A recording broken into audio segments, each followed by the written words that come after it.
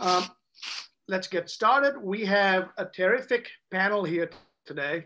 And we have today who I consider to be the rock stars in the world of parental alienation. Dr. Jennifer Harman and Dr. Demosthenes Lorandos. Dr. Harman received her PhD in social psychology from the University of Connecticut in 2005 and has been an associate professor of psychology at Colorado State University since that time. She has also held a joint appointment at the University of Colorado School of Public Health for several years.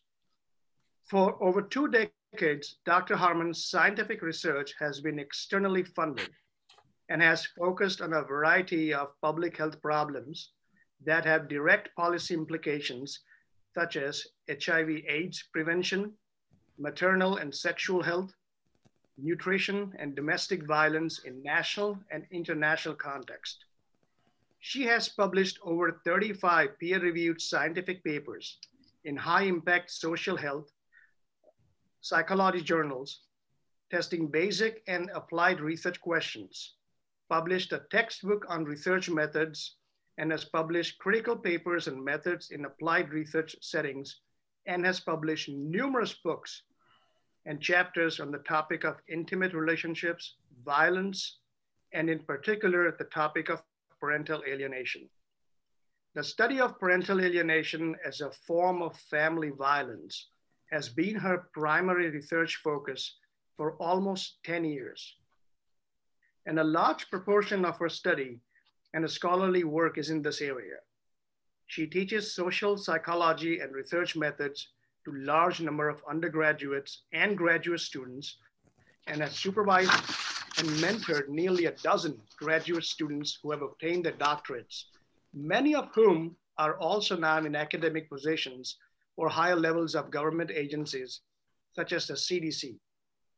She serves on the board of directors for the Parental Alienation Study Group, serves as a reviewer for some of the top psychology journals in her field, and has recently finished a term as an action editor for the journal Personality and Social Psychology Bulletin. Dr. Demosthenes Lorandos is the first generation American of Greek and Australian heritage. He's licensed at the highest level as a psychologist in California and Michigan. He is also a trial attorney and is admitted to practice law in California, New York, Michigan, District of Columbia, Tennessee, and many federal district courts, the second, sixth, ninth, 11th federal circuits, as well as the United States Supreme Court. Dr. Lorando studied science at the New School for Social Research in New York and took his first job as a psychology trainee in 1965. In five decades as a practicing clinical and forensic psychologist, Dr. Lorandos has carried out original research and published both quantitative and qualitative studies in the journals of the behavioral sciences. He has served as an evaluator and expert witness hundreds of times in the United States, Canada, and in Europe as well. Dr. Lorandos studied law at the University of Detroit and has been publishing as a legal scholar for over three decades. As a trial lawyer, he has litigated closely contested cases in 30 of the United States and is regularly asked to teach forensic science and legal advocacy in the continuing education programs for law and forensic sciences. In addition to being a peer reviewer for journals of law and science, Dr. Lorandos is an executive editor, contributing editor or co-author of five books describing the intersection of science and law. His two volume work with forensic psychologist, the late Dr. Terence Campbell, cross-examining experts in the behavioral sciences, is now in its 20th year of continual publication and annual updates. Dr. Lorandos has authored or co-authored numerous chapters in professional texts concerning the intersection of science and law and has published many peer-reviewed studies in this important topic area. He's the lead author and managing editor of the book Litigator's Handbook of Forensic Medicine, Psychiatry, and Psychology. He is a president of the forensic psychology consulting company, Psychlaw.net, PLLC in the United States. He can be reached at www.psychlaw.net. Dr. Harman and Dr. Lorandos, welcome. Thank you. Thank you for helping to facilitate this, Ashish. My pleasure. Let's start uh, with your paper. The paper titled Allegations of Family Violence in Court, How Parental Alienation Affects Judicial Outcomes, published in the journal Psychology, Public Policy and Law, published by the American Psychological Association, uh, recently published in 2020. Can you tell us what made you write about this topic? How did you come to it? Well, um, we really wanted to, we, we, had, we had originally read the paper that was written by Joan Meier and her team. Um, that was, it was a report that was read, published in 2019. And when we read it, we, we were concerned about some of the hypotheses that were tested and the findings that were reported. And we were concerned that based on some of the, the little detail that was provided in the report, that maybe it wasn't done correctly. That was initially what I what I kind of looked at. I was like, this doesn't make any sense. I don't know how they actually did this study when I read it. And as a scientist and somebody who reviews lots and lots of papers for journals and other things, unless I know how someone did something and came to the conclusions that they are writing about, I can't have a lot of faith in what they're reporting. And so I initially reached out uh, to Dr. Lorandos um, with some of my concerns about the paper. And I said, these are really important questions that are being asked, but I'm not entirely convinced yet that these were the right methods or the right way of going about ans- asking those questions or answering them. And so we decided to meet and chat about it. And, and that, that's sort of what led to us deciding to um, move ahead and do our own independent test of, of the hypotheses, because they are very important hypotheses that, um, or sets of findings that are concerning. And we wanted to make sure that that, that could be replicated. Can I, can I ask you, what were the red flags which led you to approach Dr. Lorandos when you first read the findings? Well, as somebody who's done a lot of work in the public health area, the biggest red flag for me was that the findings were being used to try to change law and, and policies based on one study. And we would never do that in another field of study. Um, you know, we would replicate. And, and in fact, an axiom of all good science is replication. Um, you know, for example, if if somebody did a study on the COVID vaccine on 500 people, frankly, I wouldn't want to go get the COVID vaccine unless it was tested on more people and other populations and retested and retested and retested until it was finally met approval that it worked. And usually, when you have a study that has very good methods, very strong findings um, that are concerning, usually you would advocate for um, a government agency to allocate a line of funding to further investigation of that and solicit proposals from other independent research teams in order to test those hypotheses. That's what you would do in HIV prevention research, cancer research, all these other public health problems.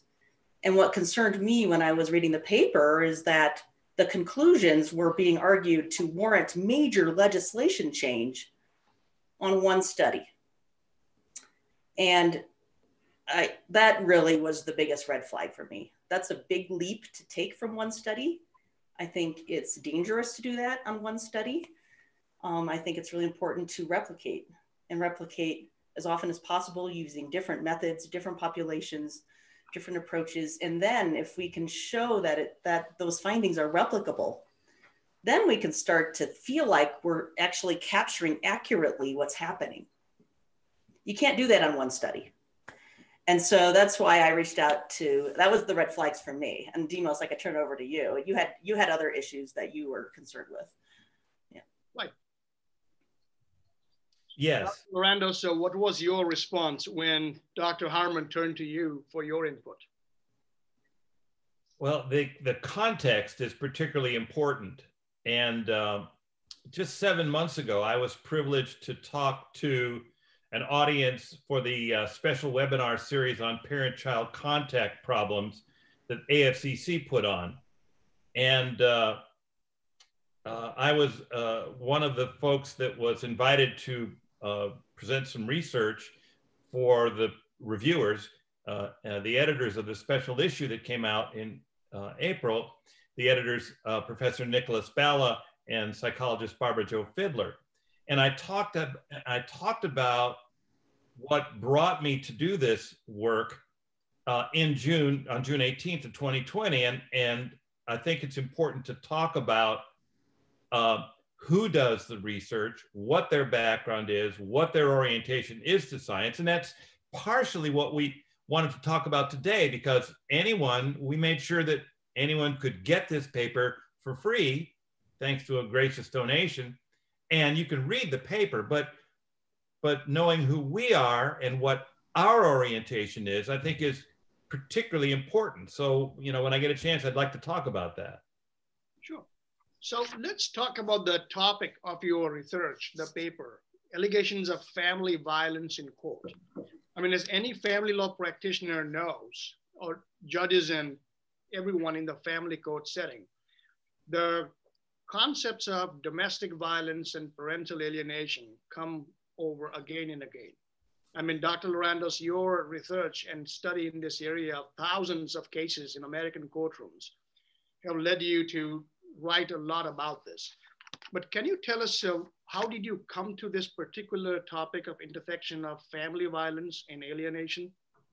Yes. Uh, it's important when you read a, a, work like the paper that, that this, this presentation is about to understand who are the folks that are doing it. And, and I want to talk about that a little bit because with apologies to uh, Donna Haraway or Miranda Fricker and, uh, you know, and a, and a feminist epistemologist. And I think Professor Harman will kick me if I go any further into that. it's important to know in the politics of science, it's important to know who's doing the research. What are their, what's their background? What's their orientation? Uh, Professor Naomi uh, Oreskes uh, and her co-author uh, Eric Conway put out a wonderful book in 2010 called Merchants of Doubt.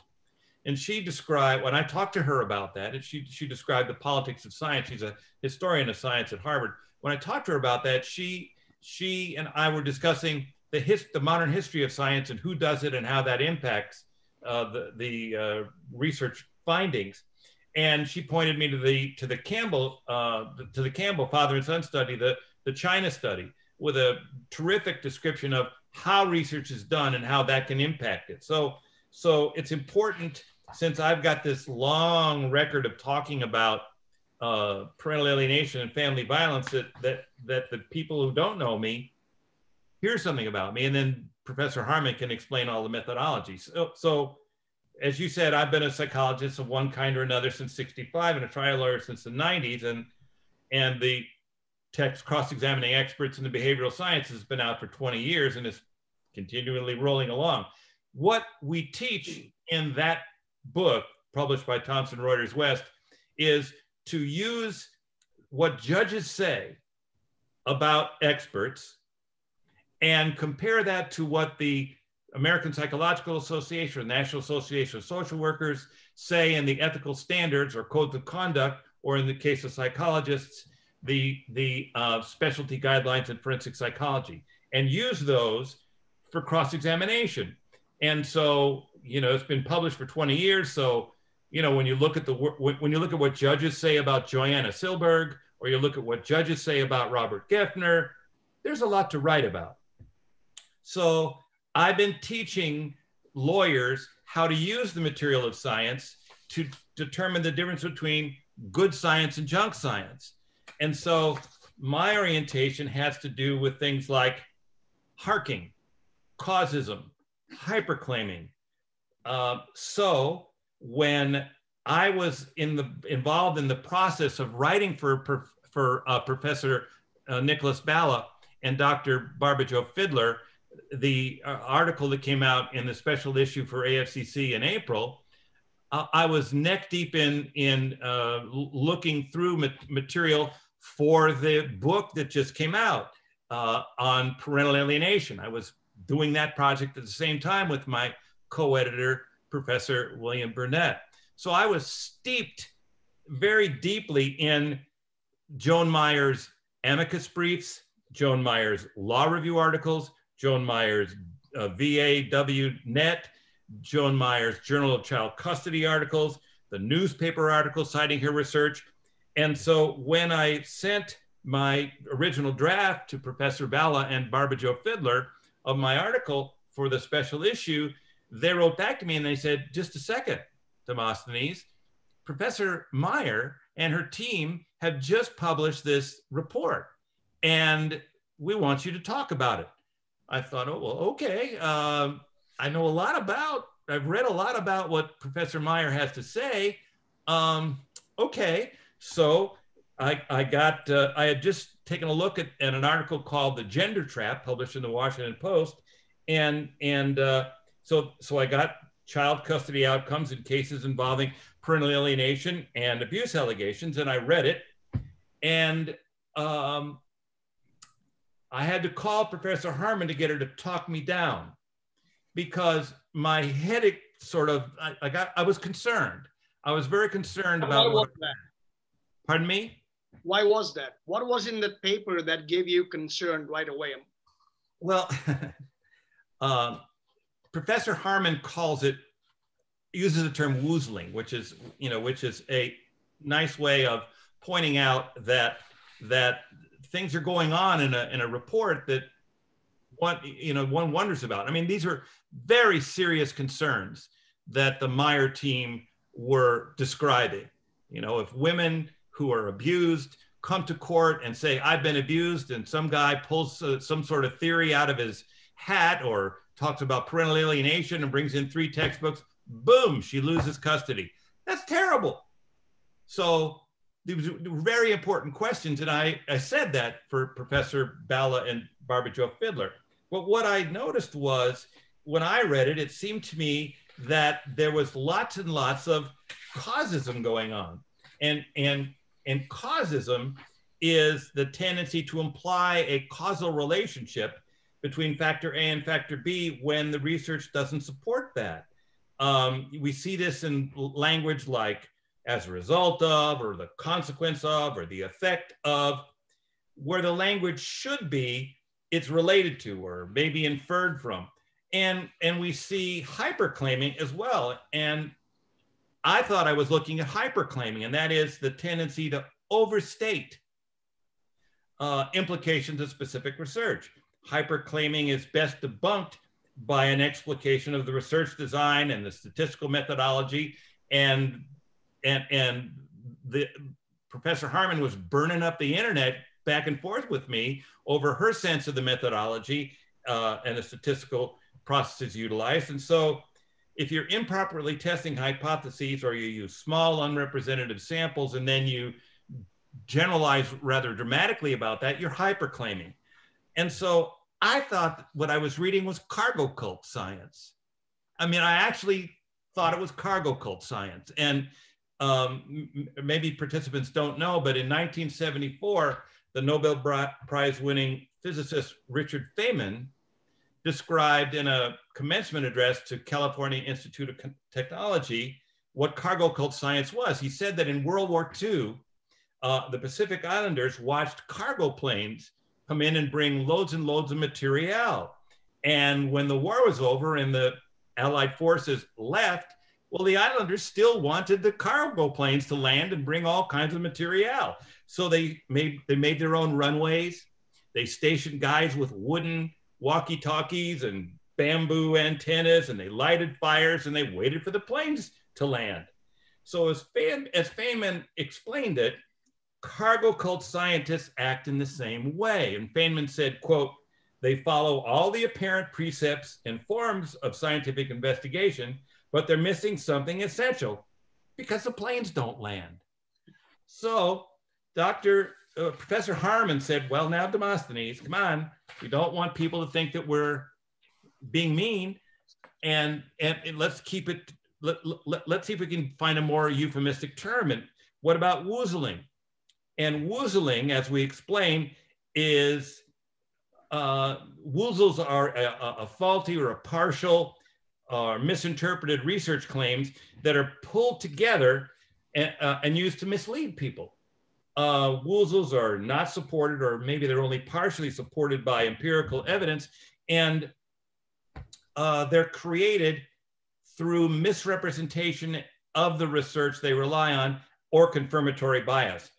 They're often uh, motivated by uh, ideology and they overshadow challenges. It's, it, it, it's difficult. The, the Woozle effect has been defined in science as uh, evidence by citation.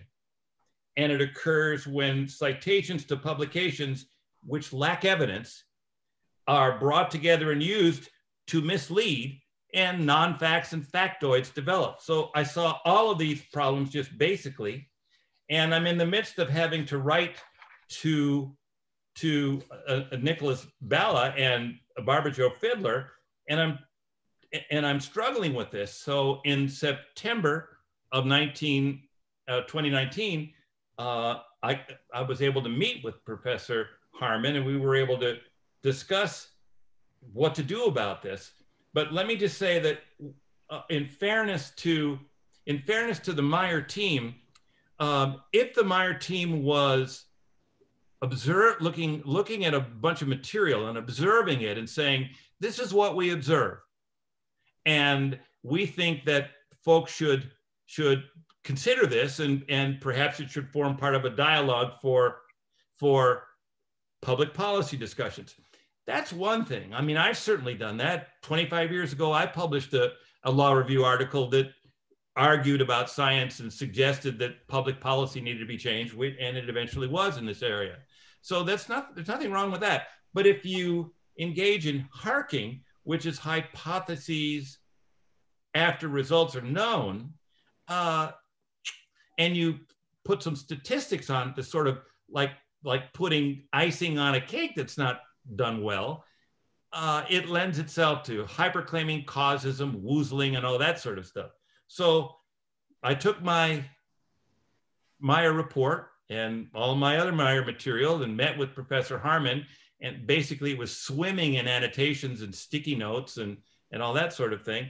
And we began to uh, look at uh, what were the basis of the opinions, what were the sources, etc uh, in some of Meier's work. Were, were they accurate? Were they valid? I could talk more about that in a minute. But the important thing to know is that Professor Harman insisted that if we were going to replicate this, we had to set it up in a way that scrupulously controlled for our prior orientation or what we thought was the right thing to say. Because these were important questions and if the Meier data was accurate, holy Toledo, we had problems.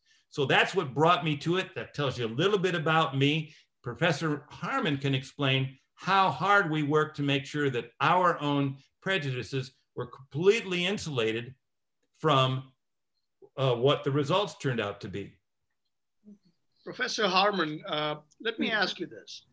Some people who may read your paper and who just heard Dr. Lorandos explain why you came to this topic, they may interpret this as an attack on the Meier team. Is that what you intended when you began this uh, research?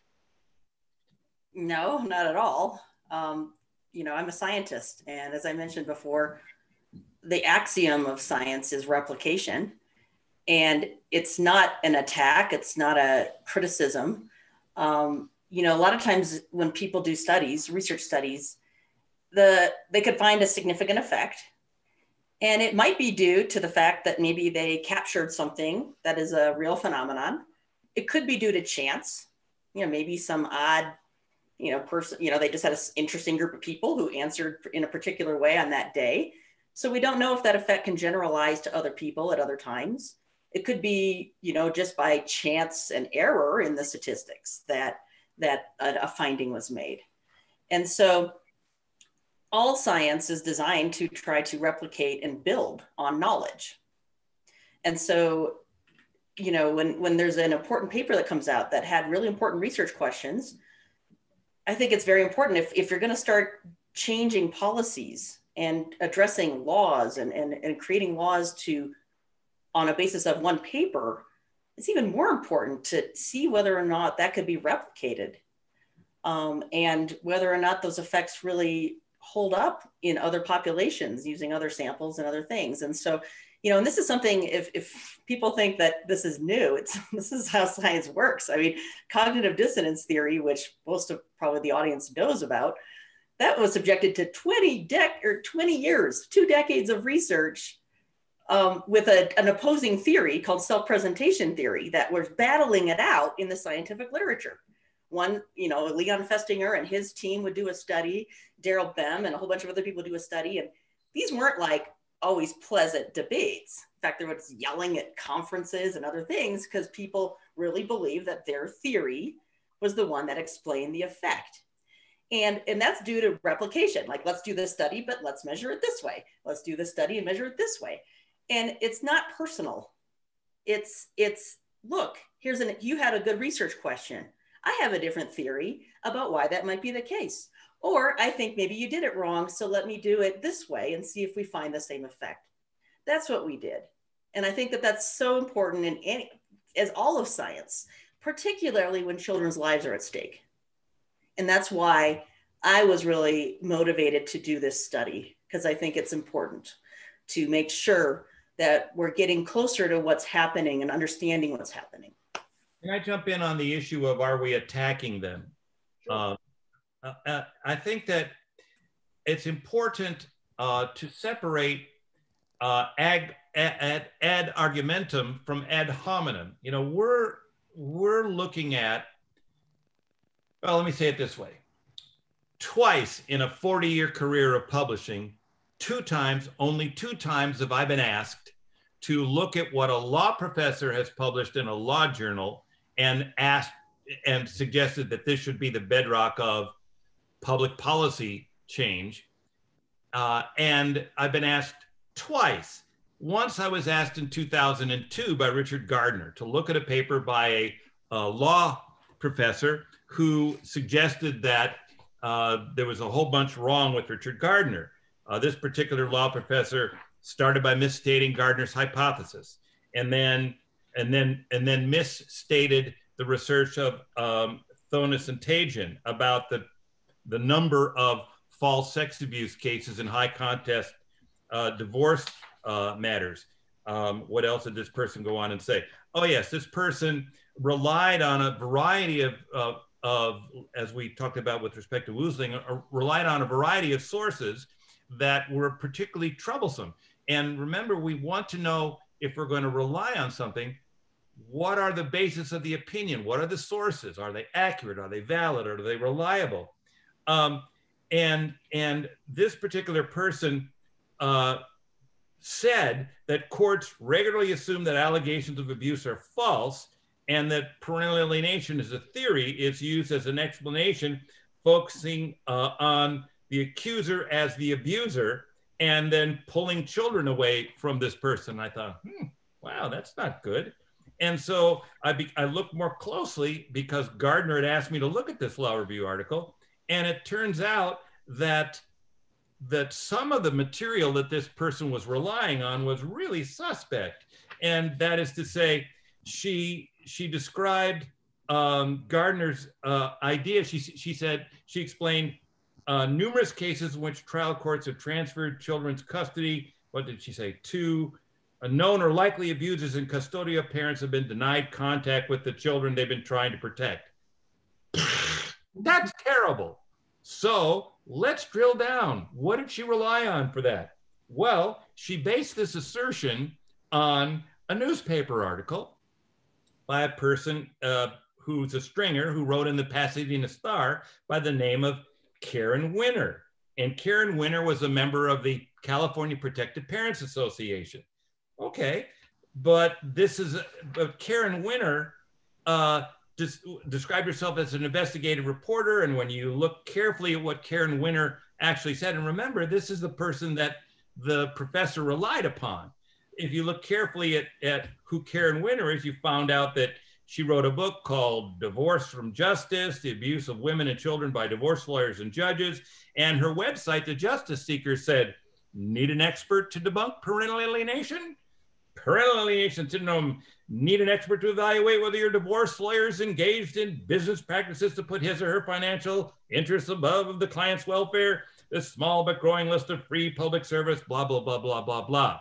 So an okay. is not a scientist. Not only not a scientist, but a person who has an axe to grind.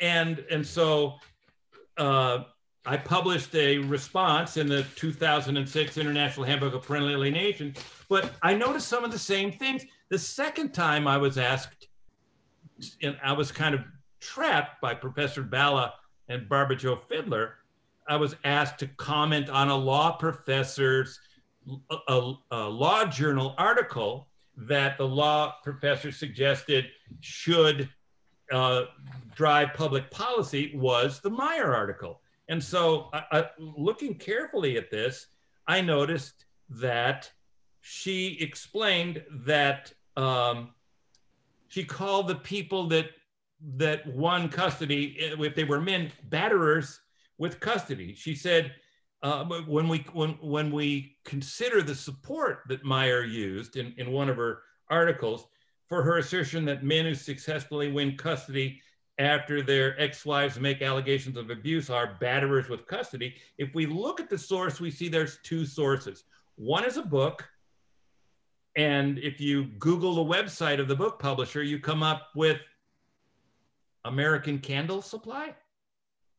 And another is a now defunct internet link. Well, okay, fine, maybe the publisher's out of business, but if you look at the book that that uh, Professor Meier used to, to as support for her idea that men are are uh, abusers with are uh, abusers with custody and batterers. The co-author of the book was was a uh, an attorney named Neustein, and this book I think it was called something about. Let me see what my my notes say. Um, it was um, let's see, something about med. Oh yes. Um, from madness to mutiny, why mothers are running from the family courts and what can be done about it, etc. Well, if you look at the authors, Ms. Neustein was an attorney, and uh, upon the in her in Miss Neustein's family law case, uh, the family court judge that dealt with it criticized this author for specious abuse allegations against her child's father and ultimately removed the child from her care. Uh, the, the, removal was based upon the recommendations of the law guardian, the child welfare agency, uh, and due to fears that Neustein would cause the child emotional harm. A second judge became involved and ultimately awarded the child's uh, father sole custody and ordered that Neustein have visitation then Neustein attempted to, to sue the Child Welfare Agency and the city of New York over her due process rights and the Eastern District of New York, where you, Mr. Joshi, and I are both members, dismissed those actions. Well, if you look at the co-author of this book that Professor Meier relies upon for her idea that they're just abusers with custody, you see that it's Michael Lesher. Well, during the time that this was developed, Michael Lesher couldn't practice law because Michael Lesher had been suspended from the practice of law. And so, you know, that, and then there's there there's there's humorous uh, examples in, in Meier's work that, that that bothered me. And there's many examples of poor scholarship, and, and that robs people of the ability to recognize when you exercise poor scholarship, and I'll finish it quickly. When you exercise poor scholarship, and I had this kicked into me at the New School for Social Research, you know, get it together or there goes your scholarship, bunkie when you exercise poor scholarship, it robs people like Meier of their of their ability to recognize their erroneous assumptions and conclusions, uh, in, and instead leads to what Kruger and Dunning said was a inflated self-assessment. And it, it sometimes it goes from the sublime to the ridiculous. At one point, Uh, in Meier's work, she offers many mischaracterizations of, of Gardner's work without identifying any authority for, for those statements. And at one point, she claimed that the well known phrase, hell hath no fury like a woman scorned, was biblical. Well, no, it isn't. If you look at it, and it's not hard to figure this out. You know, it's not hard to figure out that Neustein, who's Neustein, and what the judges say about Neustein, and what the judges who took the license away from Lesher say about Lesher. But when you look at hell hath no fury like a woman scorned, you discover that even though there's a lot of scorning in the Bible, that's not where this comes from. The, the phrase comes from William Congreve in 1697 in the play Mourning Bride, in which the phrase is, Heaven hath no rage like love to hatred turned, nor hell hath a fury, nor, nor hell a fury like a woman scorned. Mourning Bride, Act 3, Scene 1. Okay. The point is, when you're going to rely on somebody, and law and evidence in law and public policy should be based on real reliability testing. I've been teaching that for 20 years. You need to know what's the basis of the opinion, what are the sources, are they accurate, are they valid, are they reliable? And yes, this is the kind of animated speech that Professor Harman had to talk me down from when we were personally meeting and having discussions about this so, so that we could set up a methodology for actually looking at the conclusions. To hell with the methodological problems, we had to cope with those. But the questions that they said that they proved really were important to look at to make sure. I mean, are judges and guardians ad litems doing a terrible job? When social services get involved, are they screwing everything up? Yikes!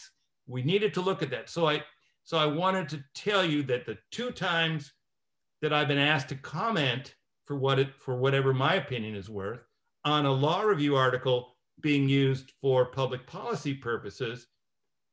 One was recently in AFCC and the other one was 20 years ago. So that's so when I met Professor Harman face to face to discuss all this stuff, thanks be to God, the gods in the in the heavens, that she was able to calm me down and talk me down from this and get us back to methodology, get us back to methodology, get us back to methodology.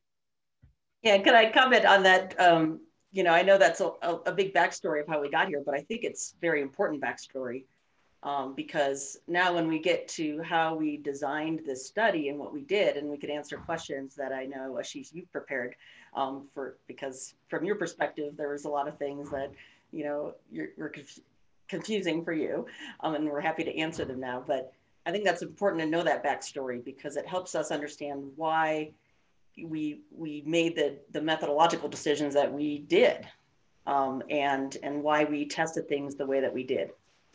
Sure, that, that's very helpful, no doubt about it. Thank you. You mentioned that much of the scientific debate happens in peer-reviewed journals, where scientists are debating concepts and data and research back and forth. I'm not, I'm an attorney. I'm not a scientist. And like me, there are many, many, many family law practitioners and judges and referees who have to read papers, research, and then figure out whether they can trust it or not. So can you tell us a little bit about the peer reviewed process and what it really means? Yeah, so peer review doesn't mean you just had a few friends or colleagues read a book you wrote and write an approval, you know, like a little comment or pre- preface. A peer review mean in an academic or scientific journal means that you've submitted a paper that you've published and it's evaluated by your peers based on the scholarly merits, the basis of the ideas and the, the, the methods that are used. Um, and usually what happens is that an editor looks it over and decides whether or not they think it will even pass peer review and whether the paper has some significant contribution to the scientific literature and that it would be a fit for the journal. Then they assign it to three or four um, reviewers who are blind to the work, meaning they don't know who did the study. They you know, usually will take off all information so that the reviewers don't know who did it and hopefully minimize the biases that might come with that.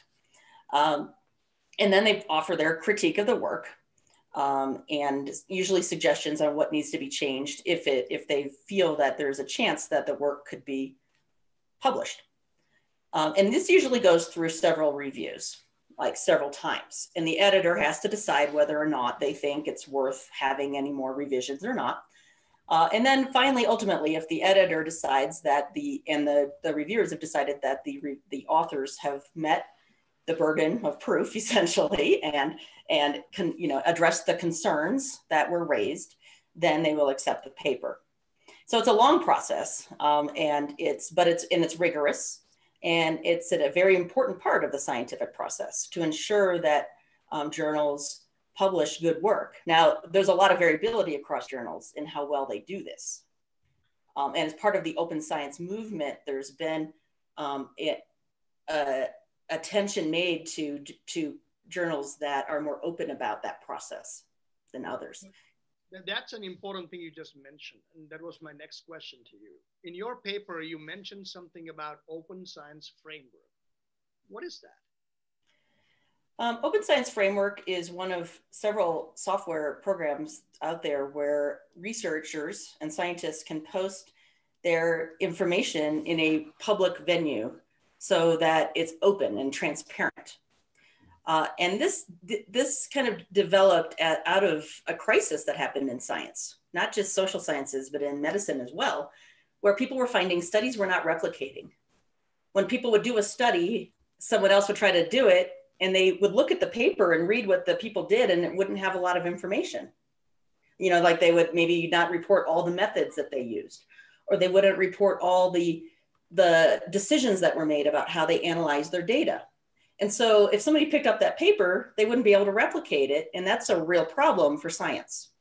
And that reached a real crucial point about 15 or 10 years ago when scientists were saying we can't replicate some of the big findings in social psychology or in neuropsychology or in medicine. And what does that mean for what we know? what do we really know if we can't replicate anything? And so that led to a big change in how science is done. And this is where open science practices were developed as a way to do that. So, what that means is that when I come up with a hypothesis for a study, I have to be very clear that I did it before I collect my data and before I analyze it, before I play around with the data. And I have an analytic plan designed before I do all of that. And I have clearly written it all out. And then what you do is you archive it. You post it up into an open science framework where we call it pre registration, where you lock it away and it's date stamped. And this is a way to ensure that people are doing what they say they're going to do. Because what they were finding is sometimes researchers were going back after analyzing their data and they'd get an interesting finding and go, oh, I think I know why that happened. And then they'll create a hypothesis for it. And that's what we call harking. That's what we call harking. This is hypothesis after results are known. And it's a very questionable research practice because it means you could just fish around in your data until you find something and then come up with some rationale about why you found it. And that is not, that's not what we call confirmatory hypothesis testing. And so we wanted to make sure when we did our study, when we looked at the Meier report um, or the Myers team's paper, there weren't very clear hypotheses that were spelled out.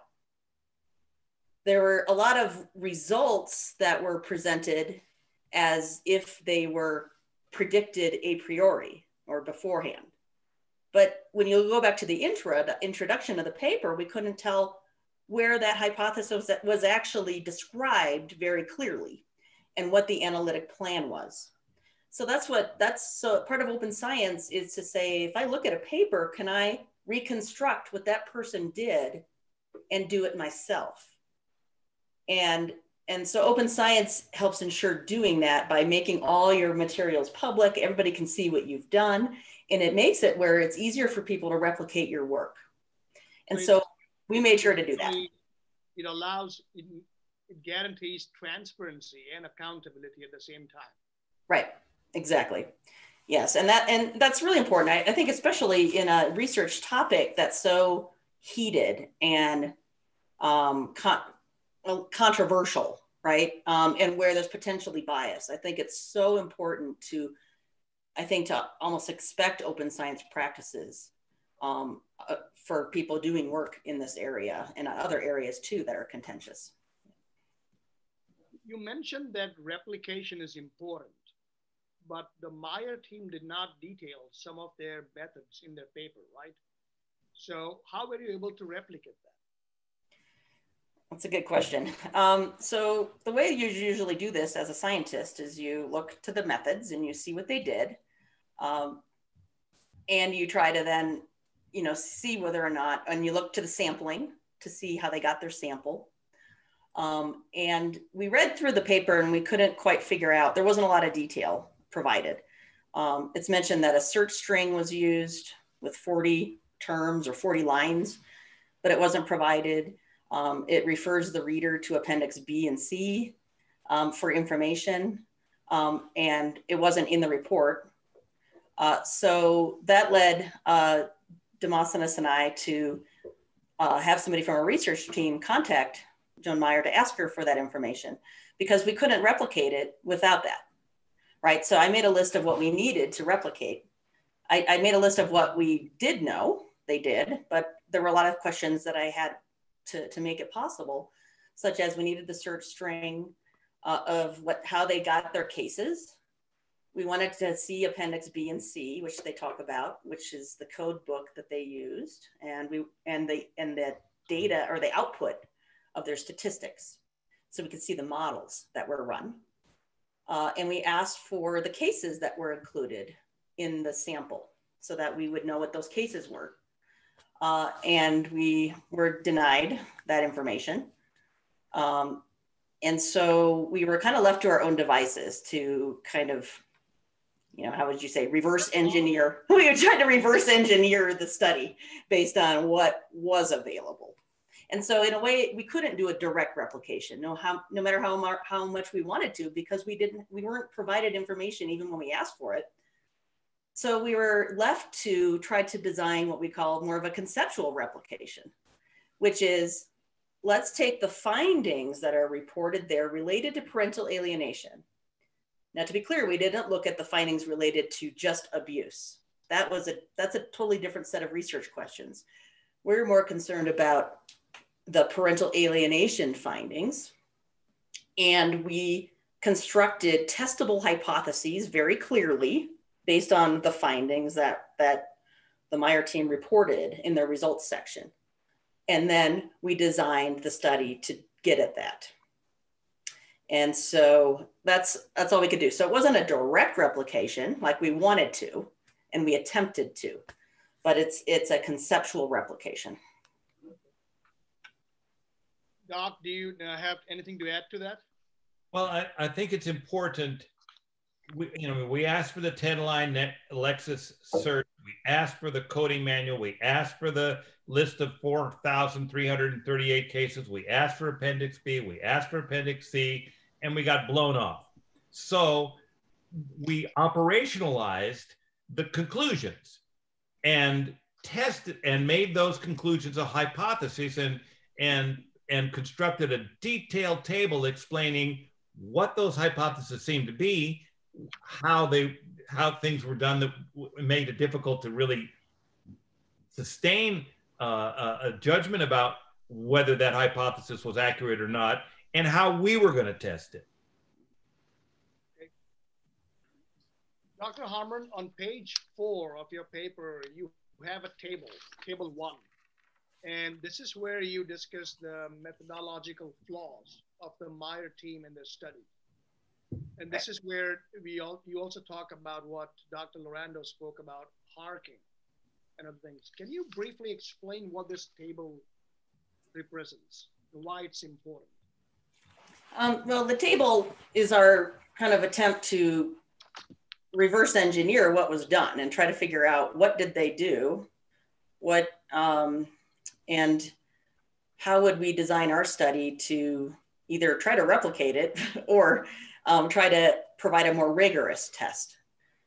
Um, so on each, each example on the issue in the table is what we identified and in the middle are just what, what threats to validity does that have for a study? what threats to generalizability does that have for that study? And so then, then we talked about how we were designing our study to try to remedy that. Now, one of the important things that I think is, is important to mention is that we were looking only at cases where parental alienation was alleged or found. Um, and in, it wasn't entirely clear from the report that the Meier team uh, report uh, published um, what a lot of their statistical comparison groups were. Like, so they, they said that they had a database of paradigm cases where alienation was found, but paradigm cases was not defined. So I don't know what that was. Then they had a case, a set, a database of all abuse cases, which I think meant they were only allegations of abuse, but it's not clear. And then it appeared that even though there were no statistical models that were provided. I didn't know how they did their statistics. But that's how I, if I could have seen those, I would have, if I could have seen Appendix C, I could have seen how they were testing their models and whether that actually is a test of a hypothesis. So I'm a, I, I serve on a lot of dissertation committees. And if I had gotten a report that didn't clearly specify how the analysis plan was going to happen, to test the hypothesis, I would have sent it back to my graduate student and asked them to expand on it more, explain more what you're testing here. Um, and from what I can deconstruct from what is in the report, the, the statistical models compared cases where there was allegation or a finding of parental alienation and cases where there was finding of abuse and no parental alienation. I think that's what was happening, but it's not clear based on what was reported. But, and if that was the case, that actually does not provide a critical test of the hypothesis. And this is, it's, I, I don't want to get into statistics here, and I could kind of go into this offline for people who want to know that. But what, what, by doing it that way, there's an underlying assumption that all allegations of, a, of parental alienation are false because they're just a legal argument made to defend against abuse claims and it assumes that all allegations of abuse need to be believed. Okay. And that's that flies in the face of scientific research that allegations of abuse are common in high conflict cases, high custody cases, cases which is or high um, lots of conflict over custody cases, and that's what these cases are, right?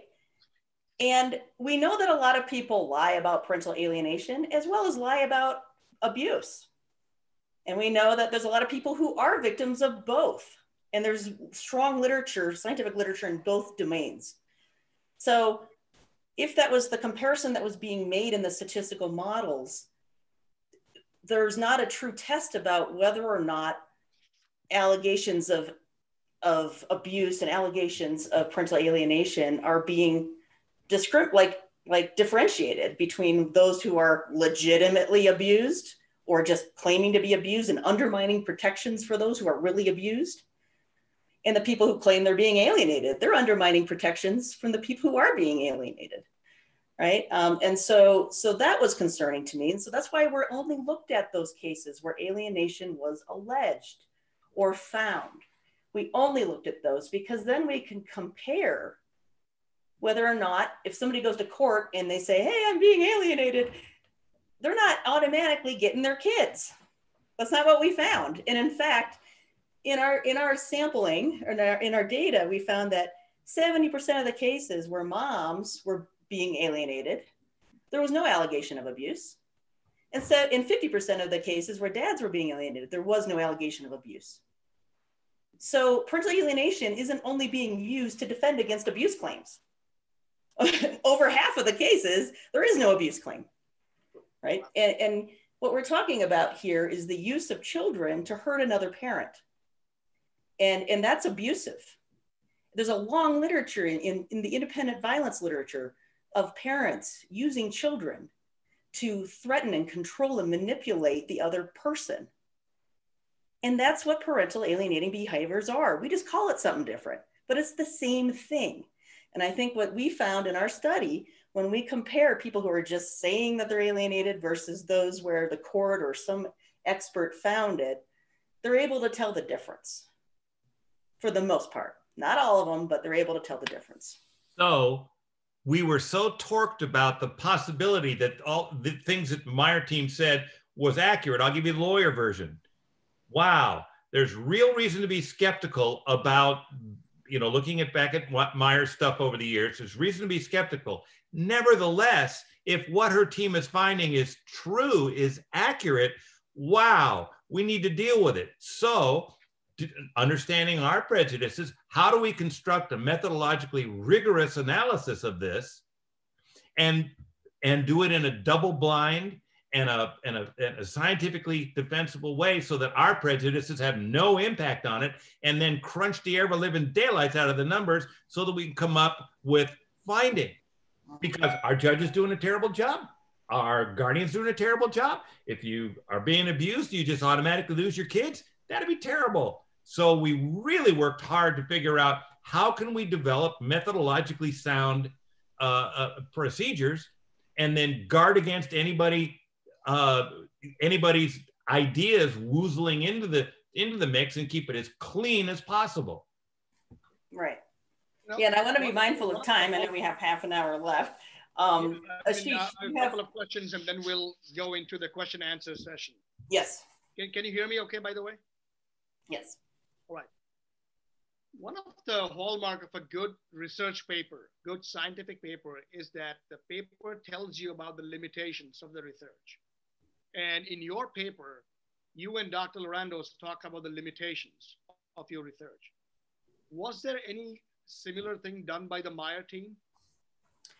Um, well, they talk about some of the limitations, like about that their that their cases were appellate cases, which is what we what we use too, right? And there's limits to that. Um, you know, for example, like if do we know that um, you know when a court decided alienation was going on, and there's no mention of other people involved with the case, do we know that other people were not involved in the case or not? We don't know because at the appeal level, there's not a lot of detail compared to what you might see at the trial level. Some cases, there was a lot of detail, but some were very limited. So we don't know. We don't know a lot. And but that's that's the same limit for both studies. That's the same limitation. Um, and that's why we're replicating it right now, looking at trial level studies. That's why replication is important because if that's a problem at the appeal level, let's do a different level of the court system to see whether or not that that is a methodological issue. Um, but the problem is, I think, you know, when, when we were talking about hyperclaiming and other things, when you go beyond your limitations and try to call for drastic action like changing federal law about child abuse, that's not acknowledging the limitations of your study. That's far overreaching the limitations of a study. Um, and so that's where it's a problem, you know. And so that I wouldn't say if you if you looked at our study that this says that we need to go change policy based on our study, I'd be the last person to say that. I would say stop taking action using the other study until we know more.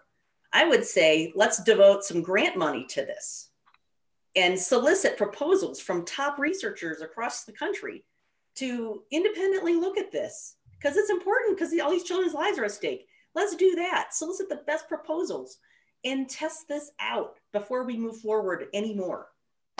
So That's what I would say. Replication is needed before you can be confident that this can be now used to affect policy change or legislations. Right. Yeah. I mean, is, is there is there a gold standard as to how much more replication is needed? How many more studies need to be done? It's not really a standard, but you know, I, have published several meta-analyses in my time, and you usually, I mean, before you go and change, you know, how we do intervention work, for example, you'd want to have, you know, 20, 30 studies that are showing strong or medium effects, right? And start showing similar patterns over time. You'd want, but it depends on, on how strong the effects are in each of those studies. How large are the samples? You know, there's, there's a lot of what kinds of methods were used. Ideally, you'd want to find similar effects using different samples in different contexts, different people, um, you know, and so different measures that are used. different methods. So it's not just archival research like what we did. You know, you want to look at some other research, you know, other methods. Not in, it's hard, it's really hard. You can't do experiments in this research. It's not ethical, right? So we have to do other methods to, to get at this. So there's not really a gold standard, but you'd want to have more than one or two. I can say that. That's one of the that's one of the wonderful things about a group like AFCC. When I was asked to comment to on Milchman and Meier and etc., one of the things that I said was, "These are important questions. Let's get together." You know, uh, you know, just, don't just take our word for it. I mean, it, we did good science. I mean, if I'm going to talk about science, I damn well ought to be able to do good science. So the reviewers said it's good science, but that's just one paper. Let's get together. Let's collaborate. Let's make sure that these things that the Meier team said was happening, and by the way, we could not support any of their conclusions, but you know, maybe we can get together and get some common language and some common research uh, goals and orientations and do it together. Right. Okay, so we have about uh, 27 minutes left. Let's go into the questions that we have got from the audience, okay? Okay. Uh, how could you have the same data set as Meier and find such different conclusions? That's a good question. Um, we don't have the same data set. Um, I don't even know what is in their data set still. So um, the sampling strategy um, that I think that was used was very different. Um, I still, I'm still not entirely certain all the exclusion criteria that were used by the team for the Meier study. Um, for example, I do know based on the report that they excluded cases where both parents claimed that they were being abused by the other. Now, in our sample, that's 20% of our cases. So that means I don't know, you know, so what, what that does is it poses problems with who you, who the, who the results can generalize to, right? You know, so if I find an effect, but I only found it with certain people, then my effect may not apply to anybody else, right? So our data set is very different, I think, because we didn't use the same exclusion criteria. We didn't really use any exclusion criteria. We just said if it if it alienation uh, claim was made, and we we just limited our sample to equal numbers of men and women, sequentially going from the 2018 back or backwards um, that was our exclusion criteria. We just wanted to make, you know, and we just included cases. Hold on a second. Hold on a second. Because one of the things that you insisted on, Professor Harman, was you insisted that our data set would be readily available to anybody who wanted to look at it. Every case, every coding book, all of the all the coding protocols, absolutely everything. So while we don't know what their data set actually was, you definitely do know what our data set was. Right. Yeah, what, what I'm wondering, uh, Dr. Harman and Dr. Lorandos, as a layman, is that if you don't have their data set, how can you compare as to what they did compared to what you did? How can you decide which one of you are correct in your findings and analysis? I mean, if, I'm a judge and I have the Harman Lorandos paper and I have the Meier team paper, how do I know which one is good science?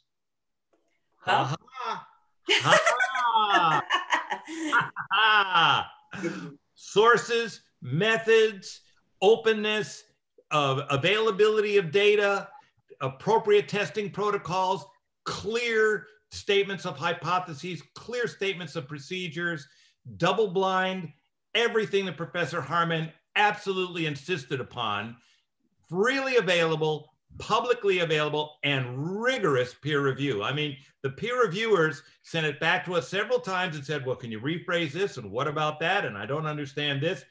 The process of peer review. That's entirely the opposite of what happened in the Meier team work. Okay. All right. Uh, another question. You said something about not all journals have the same peer review process or quality control. How can someone who is not a scientist know if a paper or a journal is a good paper? How can we rely on things because they all appear to be scientific to non scientists? Right. That's a great question. Um, Well, in, in, science, one, one way that one metric that's used is an impact factor of the journal. Now, there's a lot of debate and misuse of this impact factor, but the impact factor usually reflects the quality of the journal, meaning that the papers that are published there are cited more often, right? And they're cited in diverse settings. It's not just somebody citing themselves. These are people citing them, right? So um, usually then if it's a very, um, a very kind of transparent and clear peer review process, the quality of the papers that are published there um, are higher, they're cited more. Um, so there's a couple ways to tell um, based on just the journal. Um, and you can look up impact factors just by searching the journal and you can type in impact, impact factor and search that up on Google and you'll find it. Um, now, you can also, like like Demos said, you look up, you know, look at the methods. Look at, you know, sometimes people will publish a, a paper, a really good paper in a lower impact journal because they want to reach a particular audience, right? And maybe it's not as high on the scientific ladder, but they want to make sure an audience gets it. You can still evaluate a paper on that. Um, but again, you want to look at what is the theoretical kind of foundation or the um, the the scientific foundation of the hypotheses that are being tested or, or the, the ideas that are being presented. What are the sources being used? Are those legitimate sources? Um, is the method a good one for that research question? Um, and you know there's many methods of inquiry and they all have their pros and cons. Um, there's lots of things experiments can't tell us for example. Even though that's the gold standard in medicine and other things there's a lot of things they can't tell us uh, and so those are the kinds of things you'd want to look at if a paper is good now the review process you'd want to make sure it has a really good peer review process and the editorial board aren't people who are all citing each other right you want to have a good editorial board that is scientific and demonstrated kind of unbiased opinions, you know, in pieces. Uh, and so um, that's something I look for uh, in, an, in a journal. But Demos, maybe you're the more the practitioner side. Maybe you could answer this better. Well, certainly you look at the editorial board, you look at the track record of the journal, the impact factor, but you also want to know um, when they got a new editor, did half the editorial board uh, resign in protest and said, uh, "Why are you kidding me?" You know, you want to look at what's the psychopolitics behind this. And as an attorney, you're not going to know that stuff. You're going to have to rely upon your expert. And if you don't trust your expert, get another one. There are plenty of uh, assistant professors looking for some extra cash, and plenty of associate professors will give you a few minutes. Just call them up and ask them. Do you think that there is no information on uh, Meier's data set because she had to protect the names of the victims and the children? Is that one reason why Professor Meier could not perhaps share the sources? I don't think so, because they're all, the appellate cases are all publicly available data. So, and you know, you can de-identify the cases and still share the data. You know, that that's something that I often do. You can you can just list in your data set the case number or some other thing without listing the names of people. So there's ways you can share data. If it's publicly accessible data, then there's no reason to hide that information, especially when you're not reporting and calling out a specific case. You're reporting cases in aggregate. And the coding of the cases, because you're coding them for did abuse happen? How many abuse claims were made? Was it made by a man? Was it made by a woman? Was parental alienation alleged? Did it, was it found? Was it not found? Was were the abuse allegations substantiated? So uh, when one of the things that troubled us was that all of this stuff is publicly available, which is why, of course, every one of our cases is freely available for you. You just got to go to the Open Science Framework. There it is. And but the but the Meier report blocked us from getting the cases and put all kinds of impediments in the way, even though this was a publicly re- funded research project, but all kinds of impediments in the way for us to find out. And we thought, well, wait a minute, these are publicly available, published appellate cases. So that's another conundrum of work like this. How did you make sure your coders did not know the study's hypothesis? That's a great question. So uh, I recruited uh, students who um, are psychology students, advanced psychology students who've taken research methods and are familiar with coding uh, techniques. We train them on the coding forms, which appear in the appendices of the paper. So you can see what those coding forms were. Um, and if you look on Open Science Framework, you can see all of their coding. Uh, and all of, you know, the, we had multiple coders, two coders coded each study. And we had them after the training, we had them com complete, write out what they thought the hypotheses were for the study in as great detail as possible. So I made them sit there for 20 minutes and write down what they thought it was. And then they turned it in. Their names aren't on it. All of the coders have letters that are associated with them. So that way they're not identifiable, but I have their information. Uh, and then at the end of the study, when they finished, after coding all of them, we asked them to again write out what they thought the hypotheses were. And in this way, we could check to see whether or not, you know, granted, we tested six hypotheses. Most of it wrote out one, and it wasn't exactly what we were studying. And even if a, even if one student had kind of a guess that was related to something, it there were two coders on each case, right? So any potential biases that one person may have had in what they were seeing another person was who didn't know was was involved right so so that's how we ensured that and then the third person who reconciled them was really only looking at those those fields that were different between the two and then looked to the original data source to see what was actually in there and and did that so that's how we kept it blind um, and i think that that's very important and and then on the other side on the case selection side demos's team they were blind to hypothesis before because we hadn't even developed the hypotheses yet. Uh, they didn't know what they were. Clue. They, they simply had a job to do. Get the most recent. You know, you've got three thousand something cases. Get the most recent 250 where women were accused. Get the most recent 250 where men were accused and it was substantiated in some way. Get the most recent 250 where where women were uh, were accused but it wasn't substantiated, and the most recent 250 where men were accused and it wasn't substantiated Period. End of story. Don't ask any questions. We need it by Friday. Here's another question for you. Pre-registration and open science are new to me. Does your study imply that unless a study is pre-registered or doesn't provide information about it, we should not trust it? Ooh, that's a good question.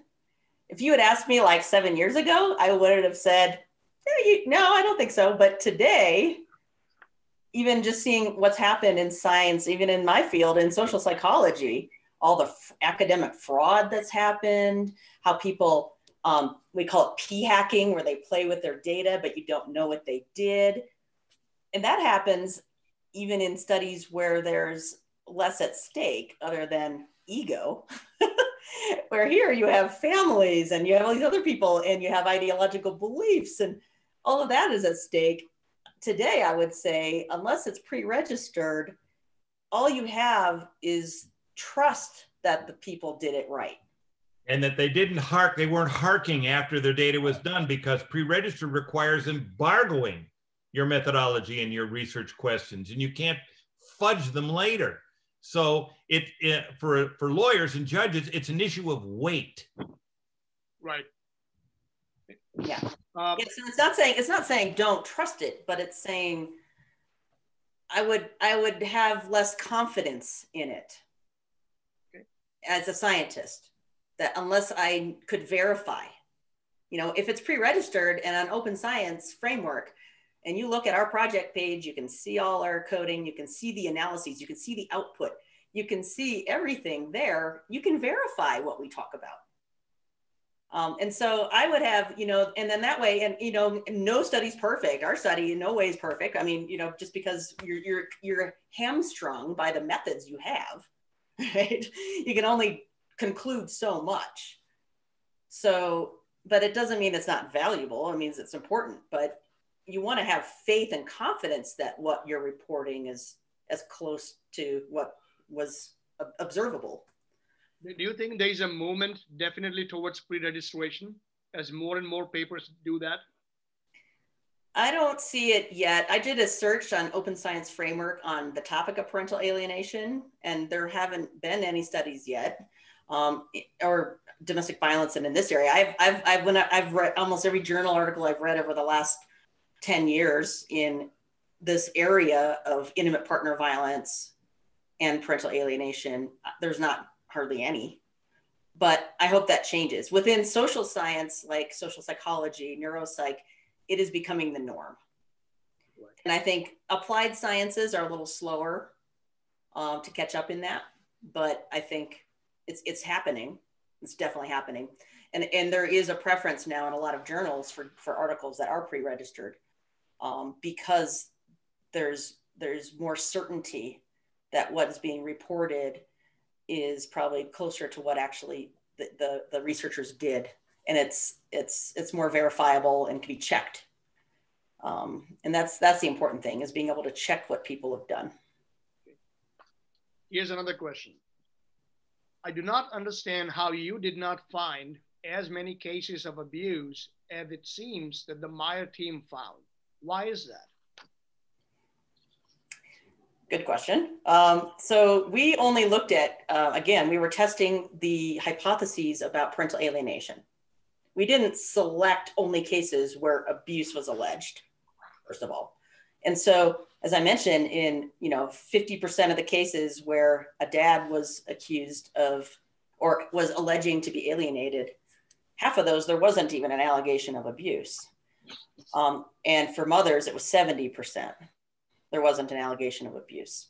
So I think and it's hard to tell because again there wasn't a lot of information that i could gather from the report.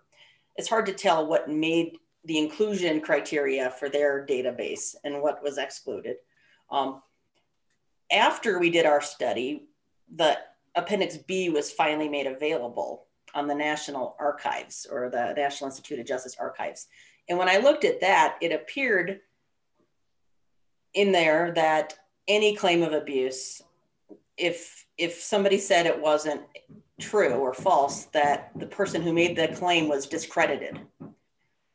Um, even if CPS, after multiple false allegations of abuse, came to the determination that that parent was misusing the system to try to get a custody advantage or to get at the other parent, even when that happened, that was coded as discrediting the parent's abuse claims which I think kind of is a slap in the face of CPS and other people who are doing a lot of work trying to investigate allegations of abuse. And when they find that after 20 allegations, none of them are true and are actually are linked to, you know, something that that parent is doing to hurt the child and the other parent, that doesn't mean they're discrediting the abuse claims, but that is what is reported in Appendix B. Now, we didn't know about that till after our study was done so I think to get to that question about she found a lot more abuse claims, I think it goes to how they were coding abuse. And again, this goes to my earlier point. It appears as if they're saying any allegation needs to be taken as truth. And I think there's something Ill, very illogical, but it goes to a very gendered paradigm about violence that mothers only use aggression in defense against very abusive men. But that is not oh, there's a lot of people in the IPV you know research area who say that that's that's only some cases of abuse. That's not how all intimate partner violence happens. In fact, men and women are, you know, if you look at the last 12 months, they're equally likely, or 5.5% of them experience physical, sexual, and stalking abuse. That's similar proportions, right? Um, and it, if so, it flies in the face of you know other research out there. And so I think there's a fundamental difference in how they coded abuse. In our data set, we didn't have, we looked at how GALs and custody evaluators concluded parental alienation. We didn't look at whether they were the determiners of whether an allegation of abuse was true. Because what these evaluators were doing is summarizing lots of abuse claims that were investigated by other administrative systems like the police or CPS. They were the ones who made the determinations, or sometimes therapists. And so it wasn't the GAL or the custody evaluator that necessarily discredited the allegation. This is something that the court factored in. And I, we've gotten some questions over the last few weeks about how did courts sometimes come up with a determination that alienation happened when maybe a GAL did it or a custody evaluator did it. Now, again, this is a limitation of appellate research is, you know, or looking at these appellate cases because the de- amount of detail varied a lot. Um, in some cases, you know, courts don't have to agree with an evaluator, right? They don't have to agree with their conclusions. Um, it does beg the question as is who's right? We don't know. And we can't tell that from the data that Meier probably had at her disposal or ours. We don't know for sure. But you know, if you have enough cases on average, you're gonna you're gonna start to weed out those where there's definitive kind of evidence that was looked at by the court that says, wow, this parent is engaging in a lot of behaviors to undermine the relationship. They don't even have to call it parental alienation to say they're hurting this relationship, right? Um, and so, anyway, I'm sure Demos can add to this. I mean, the judges have to assign weight to any evidence. You know, you could have a custody evaluation report that says, for example, there is no parental alienation going, but the family court judge may reach a different conclusion based upon the evidence that's right. in front of the judge of the behaviors. Absolutely. And they have probably more of a history of the case. I know a lot of custody evaluators sometimes only look at the more recent history, they don't even look at the past. Uh, courts have more at their disposal to look at in that regard. Um, and sometimes, you know, the evaluator gets it right, but the court doesn't, right? So there, there, there could be, there could, just because of opinions about what the problem is, uh, maybe misunderstanding and miseducation about it. Um, you know, there's been a lot of research that's been published over the last few years that really is, uh, you know, kind of building a really strong scientific base about uh, parental alienation that a lot of people aren't aware of. Uh, so I think that, um, you know, it's that that explains why sometimes courts and custody evaluators didn't agree, right? Um, and the evaluators themselves, you know, I mean, they were only a, a, percentage of our cases. You know, not all cases even had the money to get an evaluator. You know, uh, you know, or they didn't have one uh, for other reasons. But yeah, I think we have time to take probably two more questions. So here's another one. What evidence do you have that parental alienation is not being used as an excuse to get out of a claim of abuse? Good question. Well, as I mentioned before, we found half of the cases where, or between 50 and 70% of the cases where somebody was claiming alienation and there wasn't an allegation of abuse. And our evidence shows um, across two of the hypotheses we tested that when somebody goes into court and says, I'm being alienated, unless a finding had been made by an evaluator or the court also agreed because of evidence, they weren't getting custody of the kids. It wasn't something that they were just going in and just, it wasn't like a silver bullet to go and get kids, right? Um, and it appeared to us clearly when we looked at all the allegations of abuse that were being made and we counted all of them. We, we, we, we coded every single allegation. So if somebody called the police 20 times, we coded that 20 times. Okay. So we captured every allegation. Uh, we didn't roll them all together into was there a finding of abuse or not. We looked at the nuances of these, who investigated, how deeply. So, and it was clear to us that these were not just being blown over. Like they were not just like thrown out of, out of hand. People were looking at it closely. And, um, and so, I, you know, I don't think there's any evidence that that's, it's being used that way in our, in our data that we found. And Demos, you want to talk about that? Yeah. yeah, two things to say about that. First of all, thank you for the question. Every one of the conclusions that from the Meier report that we tested was falsified. Every one of them. Key for me as a child advocate for decades is the judges, the guardians ad litem, the lawyers are doing a heck of a good job trying to get to the bottom of this. The suggestion that that when someone says they're being abused and somebody else says, "Oh no, well it's parental alienation," they just say, "Well, okay, forget the abuse claim," is ridiculous. It's insulting, and judges and, and lawyers need to know, "Hey, you know what? We tested this, and you're doing a darn good job. Thank you." Thank you for that. I, that was indeed uh, going to be my final questions. Um, when we read the Meier report or the research of the Meier team, as a family practitioner, you sit back and think about, is this true? If all you need to change custody is to walk into a court of law and yell parental alienation, and the judges just change custody based upon that, that's horrible. But that doesn't seem to be true, apart from the my own anecdotal experience as a practitioner litigating alienation cases and domestic violence cases in the courts around the country. If anything, it is overwhelmingly difficult to make a case of parental alienation and prove it in a court of law. But reading your paper, can we get a sense that the family court judges are indeed trying very hard to get the bottom of the allegations and take the allegations of domestic violence indeed very seriously? Yes. I mean, if you look at the cases where there's in the reports where there were multiple claims of abuse, like intimate partner violence and child abuse, and there were concerns about alienation as well. Um, it was clear they weren't just saying, well, they're just making up abuse in order to get out of an abuse claim, or they're just making up parental alienation to get out of this. Um, and in fact, we pulled we write about this in the paper we we, we then after we did all our analyses as just an exploratory um, uh, kind of analysis we looked at those cases where there had been a finding of abuse of a parent and the other parent was found to be alienating the child so and there were i believe only about 16 out of 967 where that happened and Demos had his team go and look at that and say, what happened? How, how did how did this person who had a finding of abuse against them get custody of the kids when the other parent was alienating? And maybe Demos, you could speak to that. We rigorously went after every one of those because I don't want to hear that somebody who's an abuser is just getting custody. That's ridiculous.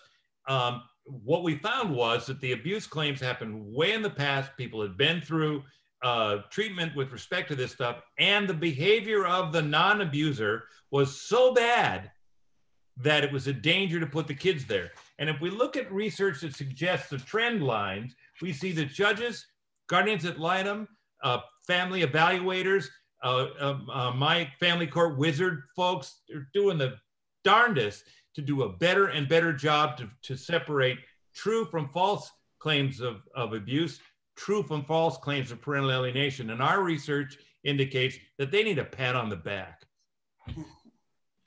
Great. Well, this was uh, amazing. Thank you both for taking the time to be here today with us. Thank you for answering oh, questions. And what I can mention is if anybody has uh, questions that we didn't have time for today um, that are related to this paper, and some of the scientific questions or method questions, you can, uh, on Open Science Framework, there's an open area where questions can be posed. Um, like, so if you want to know the meaning of this particular finding, um, you can pose them there and we will answer. And it is a public setting, so other people will see who posted and responded, but, but we want it to be open and transparent. And that's why we agreed to do this is part of the whole transparency and open science isn't just about doing the research in open way, but dissemination in an open, transparent way. And so we're happy to answer questions in that venue where it's open and transparent and everybody can benefit from the answers and the the, the questions that are posed. Um, so we encourage you to put them there. Yeah. Wait. thank you for thank you again. participating. Yes. Thank you. Thank you ashish. All right. Thank you everyone. All right. And this is recorded too i think right? So okay yeah so thank you. Bye bye